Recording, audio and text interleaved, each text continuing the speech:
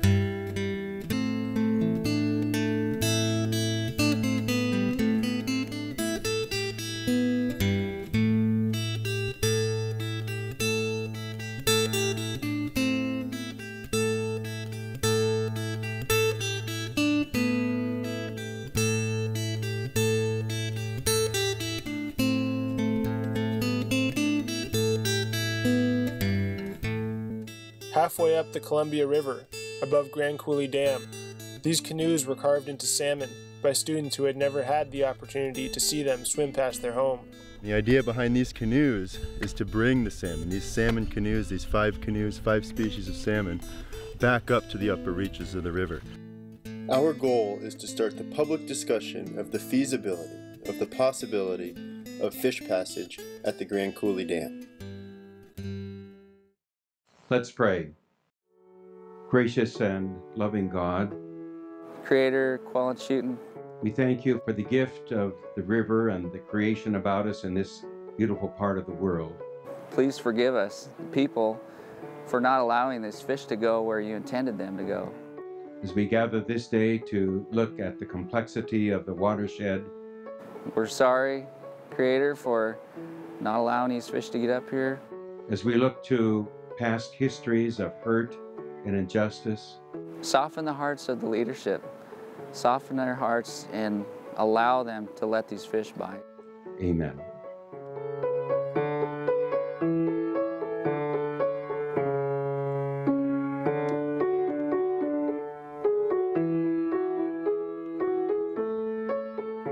When uh, humans were first brought to this earth, the Creator uh, saw us as um, a new species that was starving. The creator asked for help and he asked the animal people how what what could um, we do to help these these human beings that are coming up Salmon was the first one to stand up to the Creator and uh, give that ultimate sacrifice of his life for us humans. uh, the people can eat my body um, and that will help them uh, feed their families it will help them give them medicine And then the Creator made a deal with us as humans and said, if we take care of these first foods that I'm providing you, then they will always take care of you. That was one of the things historically that all the people had a common goal, and that was to ensure that these different species were protected. The tribes have proven the need, and so now it's just important that they continue the fight and they do everything possible within their sovereign powers to bring these salmon back home. It's been wrong for many years, so it's time to bring them back. On a gray day in August, six of us start paddling up the Columbia River. But our journey really began a year ago when students from Kettle Falls first started carving one of these salmon canoes. More canoes followed from Inchelium, Wellpinit, and Spokane. Because the students chose to carve these canoes into salmon returning home, we felt it was our duty to give them that story. To honor these salmon, to pay tribute to these salmon who can no longer make it to their ancestral spawning grounds, we decided to, uh, you know, start paddling at the ocean. Let's let's start where the salmon start. Well, at, at the mouth of the Columbia, it's a little over six miles wide. From the beginning of time, we have never left our Aboriginal land. And we have always worked towards protecting these rivers and, and trying to keep them safe, to keep them clean. Well, in this section of the river, it's actually downriver from where the tribes primarily fish. Mm -hmm. So this is uh, primarily a non-tribal fishing area. There'll be sport and commercial fishing activity. What do you like about fishing? Out in the water. I just like it. and my, my uh, son gill nets now. And my grandson wants to be a gill netter. She wants to do it. I mean, we're always on the defensive to try to keep our survival. And uh, we just need to work together to get the predators under control, restore the habitat, and just make more fish for everyone. Not accusing the sportmen, the guide boats, or the trollers, or the gill netters, or the Indians. We gotta quit fighting with each other and come together as one unity. And by doing that, you have a workforce of many people that can stand up and say, hey, we, need, we got a problem, we're all standing together. We all care about the fish probably more than most. And if we stick together uh, for the benefit of all fisheries, then we're going to be better off.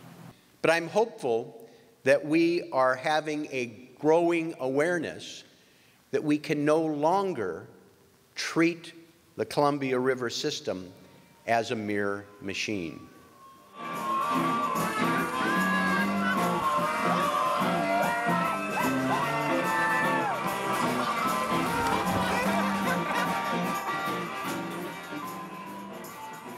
Paddling up to the face of the Bonneville Dam, I can only imagine what a wild salmon would think. Who in the heck put this concrete wall across the river, and how am I going to get past it? The tugboat coming up the river said we could tie up with them, so we did, and they let us right through the lock. One dam down, 13 to go.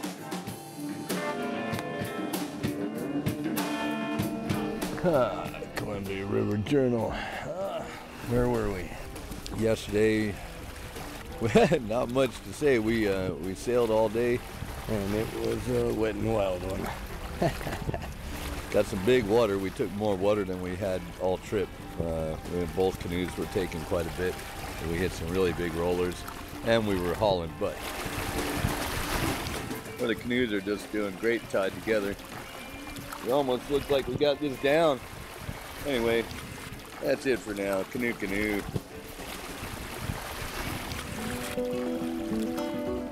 Here, a west wind helps me fish this back eddy. I know that my nets are bagging out really good and the water is being pushed through this back eddy a little bit stronger. So like that has always been traditionally for the Yakimas a place where we've always fished really hard. You think of that this is a food source that's medicine to people we should keep the river clean for them and, you know, host them in the best way we can because obviously they're giving us life. The salmon is one of our most important resources that we have. Water is another most important resource that we have because we cannot survive without water, clean water. It really is us that we're saving. We're saving ourselves um, when we work to, to um, improve the health of that river. All of the different areas that, that are touched by that river, we're improving ourselves. So it's, it's, a, it's a circle in which when we give to it, it gives back to us just as much.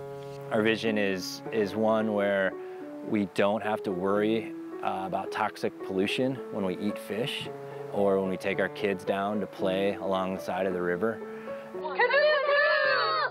And when we live by the laws that the Creator gave us and how we walk in this land and how we take care of this land, everything else will become healthier. I feel the weight of the radioactive material that's moving toward the river down by Hanford. And I've imagined myself starting a prayer vigil with people from eventually all over the world who would come and sit on that big high ridge and pray that we not infect the river.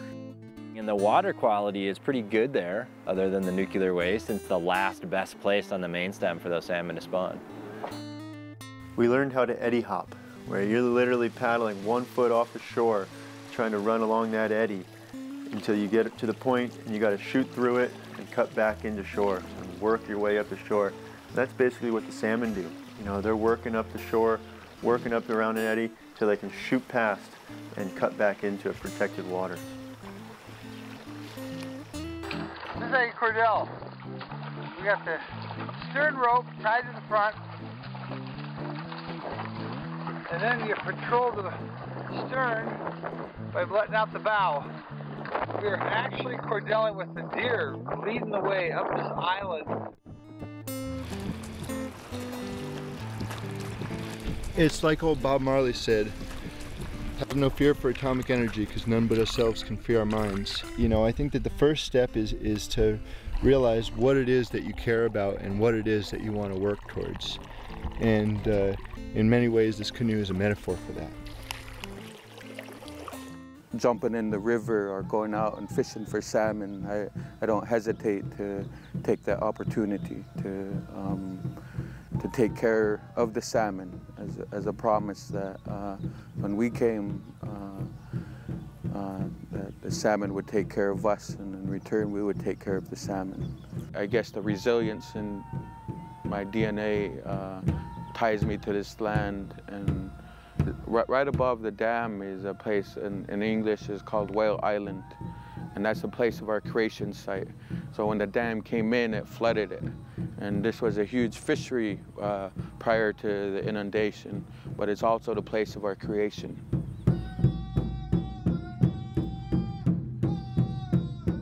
The wind and the current were against us, but today we start on Wanapum Lake, and the water is quiet and unfocused. These river lakes wait patiently for the quiet susurrations of time and erosion to infiltrate the crevices of their dams and rend them open. I'd never considered that a dam could be a bad thing, but now I know this river. The dams are unnatural and they stymie every natural process here. The river cannot breathe. I've seen every dam on this river. We've traveled past 14 dams. They're big dams. They block the natural flow of the river. They block the animals. They block the people from interacting with different sections of the river. We wouldn't be where we are today without the dams. But we have an opportunity with this Columbia River Treaty to make them better.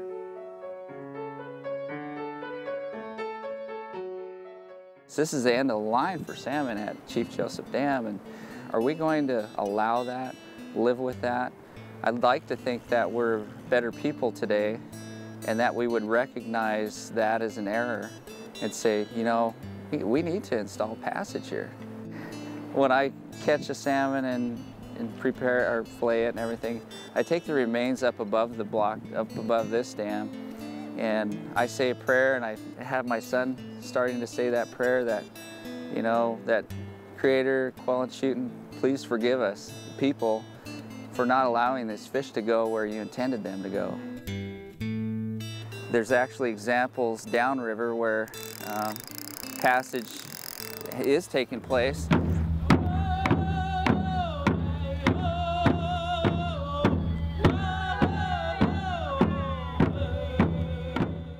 Mid 90s, that's when we saw the low point of about 2,500. And at about 2010, 2008 to 2010, we had returns where that would enable harvest for not only for food fishing for the Okanagan, but also a, a recreational fishery and an economic fishery for the Okanagan. The collaboration part is huge, creating this new process um, and using these sciences but based out of our Chaptique stories and our values something absolutely amazing. Just watching a youth catch his first salmon for the first time and they love like the clubbing part. Um, it's all about like bringing that pride back. The support that we encountered was phenomenal. People fed us, people housed us. We were treated very generously. My favorite stretch of the trip was through Rufus Woods Lake. Four days in a row where we saw nobody but each other. Plus it was the last part of the journey before Grand Coulee Dam. When I think back, you know, there's a famous picture we have of chiefs from our tribe, different tribes, standing in front of Grand Coulee. They have their backs to the camera and they're looking at the dam. And I've always wondered, what are they thinking? Oh my God, what just happened? You know? I mean, I don't see a powwow going on or a celebration. Bring the salmon back, let them pass the dams. We would like them leaping well more than their four to six feet capability. What about leaping 200 feet? Our system utilizes a flexible sleeve that creates a seal around an object. A pressure differential is then introduced, and that pressure differential is the motive force, force which, which pushes or pulls that object forward. The Whooshh appears to be an opportunity to have a low handling, low stress, effective at high head dams kind of technology for helping fish get upstream. And this is an opportunity with uh, all of the other technologies that are, are available or that folks are working on in other areas. They're getting fish over uh, high head dams. Um, there's a lot of folks saying we can't afford to do it right now. We're saying, you know, we can't afford not to do it. We're sorry, Creator, for not allowing these fish to get up here. Soften the hearts of the leadership. Soften their hearts and allow them to let these fish by because they, they control that power for sure. So when Grand Coulee Dam went in, fish ladders and things like that were kind of an afterthought. So a, a ladder was never put in at Grand Coulee. And so it went on. Uh, the dam was completed. World War II was, was triumphed over uh, Germany and, and Japan based on that power that was generated. And so the Spokane tribe feels that that was part of our contribution. But sadly enough, uh, the fish quit coming to the Spokane tribe. We are the descendants, whether literal or social, of those who conceived the Columbia and Snake River dams or built them, of those who created the treaty, and almost certainly every one of us has been a beneficiary in some way in the goods those dams have brought, and they have brought goods electricity, low power bills, commerce, etc. So we are the ones who must most ask ourselves and our neighbors um, rather insistently about their costs to people and waters and lands. Um, uh, I think of Abraham Lincoln during the Civil War. He didn't really talk, he didn't really address the slaves, the black population. He addressed the white population. And he asked questions like, What have we done? What are our acts doing to ourselves and to our desired view of ourselves as good people, as moral people, as good neighbors? One river, ethics matter. The Columbia River Treaty was signed and ratified in 1961 and 64. It came into force in 1964. We have many problems with this treaty from an environmental perspective the exclusive focus on hydropower production and flood control, the failure to address the environmental and social and economic impacts of reservoirs.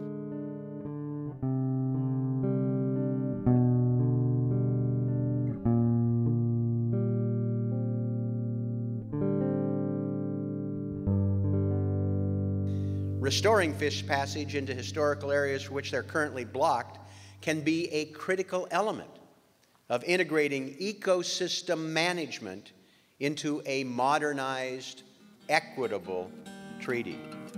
The Corps' background and, and, expertise is in flood risk management. BPA's is in hydropower generation. Uh, the tribe's background and expertise has been, uh, for time immemorial, has ecosystem function, take care of Mother Earth and it'll take care of us. So. We have a lot to draw on. We have a lot of values and information and understanding.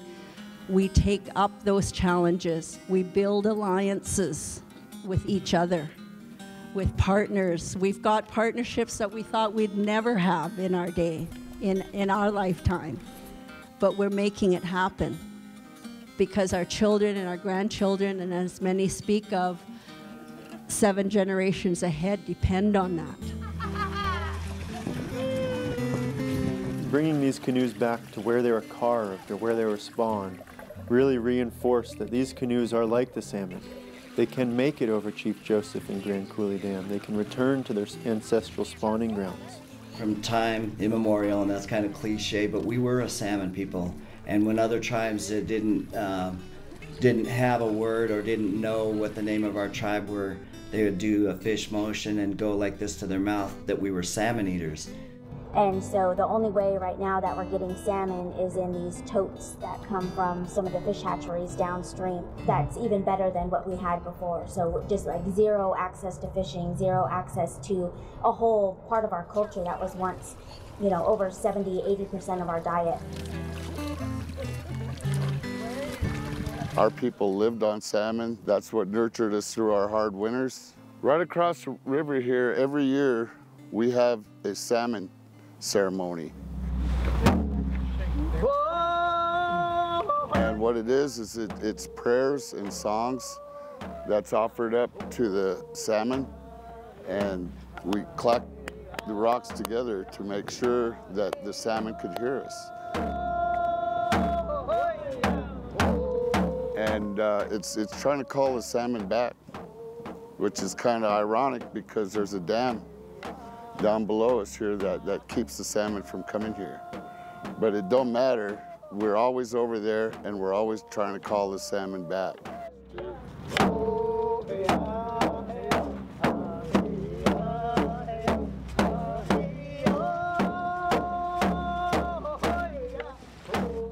As we began to return these canoes to the schools and places they were spawned or carved, we realized we would soon need another canoe to take us the rest of the way up the river. So in 10 days, we built a new canoe in tribute of David Thompson, who paddled these waters 200 years ago. Thompson made a boat that was very elegant, very much like a basket, like a, a combination of tribal technology and European technology because he'd been out for so long and he had a he just was sensitive to that. And he was really good at using the materials at hand to do what he had. So when you built your boat you had a modern way to do it and it still worked. And i, I love that. I mean he would have thought it was completely appropriate. I was in, Inchelium and I heard that there were some canoe people that were uh, that were coming up the river what happened was uh, they, the kids helped make a canoe and it was called the Crying Salmon. I grew up on the waters of the old Columbia, back home on my reservation shores. My grandpa caught the salmon up on Kettle Falls till FDR came in and closed the doors. And when it got up to uh, in the Castlegar area, I wanted to bring our, our youth and kids up there to uh, have that experience of paddling and enjoying the canoe that they helped make. But I also wanted to make a statement to the Canadian government that, you know, we're not extinct and we're still here.